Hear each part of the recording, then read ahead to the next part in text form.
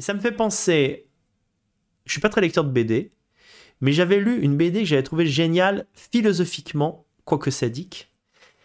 Si je me trompe pas, c'est c'est dans l'album. C'est Batman, c'est sûr, c'est dans l'album de Batman. Euh, je crois que c'est The Killing Joke. Ouais, c'est The Killing Joke. Alan Moore, forcément. Et en fait, à la fin de cet album, il y a un tout petit album. Je crois, je crois que c'est là. Hein, j'espère ne pas me tromper. Je vous envoie peut-être dans une fausse direction. C'est une histoire qui dure 5-6 euh, pages. Et en fait, c'est l'histoire d'un habitant de Gotham qui a une réflexion sur le monde, sur l'absurdité de l'existence, et qui veut se sentir exister.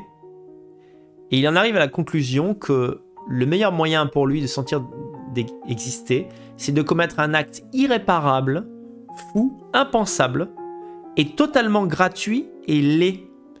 Euh, je ne sais, je sais plus quel est le, développement philosophique euh, du personnage. En fait, il dit en gros, voilà, je... imaginez un, mec tellement déprimé qu'il en arrive à perdre le sens des réalités, un peu comme les personnages, vous savez, dans le film euh, Inception, la compagne Inception, la compagne du personnage de DiCaprio, en, sortant d'un rêve, n'arrive pas à, savoir si elle rêve encore ou si elle est sortie du rêve. Elle n'arrive plus à distinguer le rêve de la réalité. Et, ce personnage-là, donc dans cette courbe BD qui suit, euh, je crois, Killing Joke, eh bien, il a le même sentiment.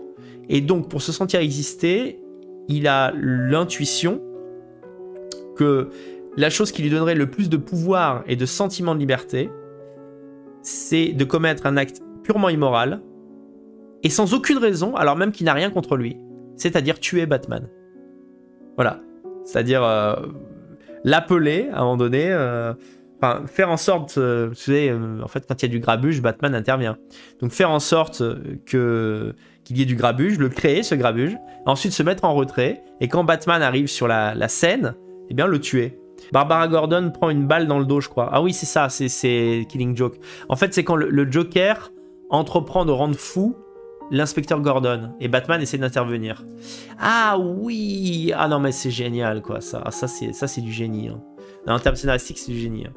Le Joker veut prouver dans cet album à Batman que n'importe qui, quand il a eu une, euh, une vie difficile, peut devenir un monstre. Finalement, il essaye de... c'est le fameux débat entre inné et acquis. Il essaye d'expliquer à Batman que c'est par les événements de sa vie que le Joker est devenu le Joker. Lui et tous les autres psychopathes qui peuplent cette planète. Et Batman lui oppose l'inéité du bien et du mal, finalement. En laquelle je crois d'ailleurs. Euh, je, pense qu'on peut, on peut empirer, quand on est quelqu'un qui est, euh, qui est animé de mauvaises intentions, qui a des problèmes psychologiques, psychiatriques même.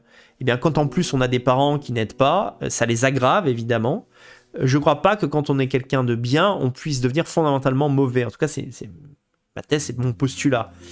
Et donc, euh, Joker lui dit au début de l'album Ah oui, tu crois vraiment que euh, quelqu'un. On va, prendre la personne qui est la plus vertueuse à tes yeux, euh, le commissaire de police, Gordon. Et je vais lui faire subir des trucs atroces. Tu pourras rien y faire, Batman. Et tu vas voir qu'il va devenir un des nôtres tu vas voir qu'il va devenir un hors-la-loi, tu vas voir qu'il va se mettre à tuer des gens gratuitement, tu vas voir qu'il va devenir fou.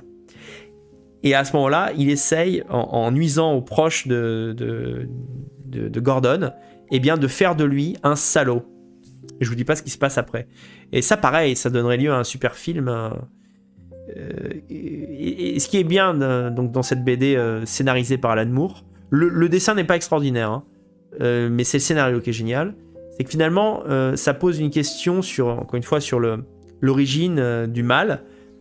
Et surtout, Moore, tout en rendant charismatique le méchant qui est le Joker, n'essaye pas de le disculper et d'en faire un héros. C'est ce que j'ai détesté dans le film Joker. J'y reviens, à chaque fois que je parle de film, je le, je le clash. D'ailleurs, il va y avoir Joker 2 la suite, je crains le pire. Euh, je vais regarder parce que tout le monde va regarder, donc euh, j'ai envie de donner mon avis là-dessus, histoire de faire un suivi sur euh, cette, série de films euh, où Joaquin Phoenix joue le Joker. Il joue très bien, il n'y a rien à dire là-dessus. Il cabotine un peu, mais il joue quand même très bien.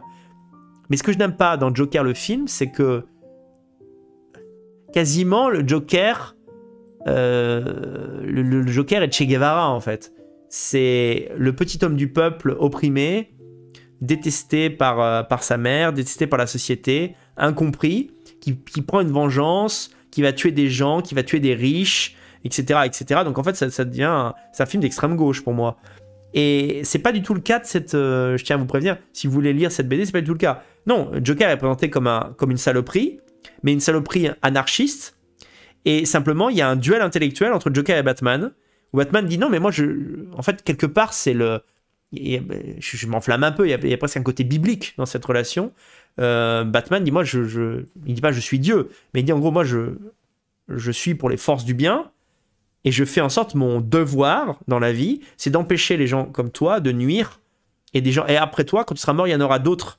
T'es pas particulier, Joker. T'es es juste un, connard parmi d'autres. Et c'est comme ça. Il n'y a pas de- d'explication. Il y a des gens bien, il y a des gens mauvais. Et les gens bien doivent taper sur la gueule des gens mauvais.